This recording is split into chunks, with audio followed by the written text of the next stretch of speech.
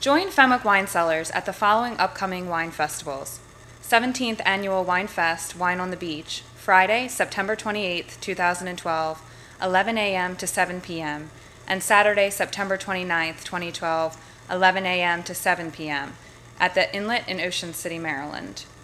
The third annual Delaware Wine and Beer Festival will be held on Sunday, October 21st, from noon until 5 p.m. at the Delaware Agricultural Museum, located at 866 North DuPont Highway in Dover, Delaware. And also make sure to check out the Delaware Wine and Ale Trail at visitdelaware.com forward slash wine and ale. Savor more than the moment.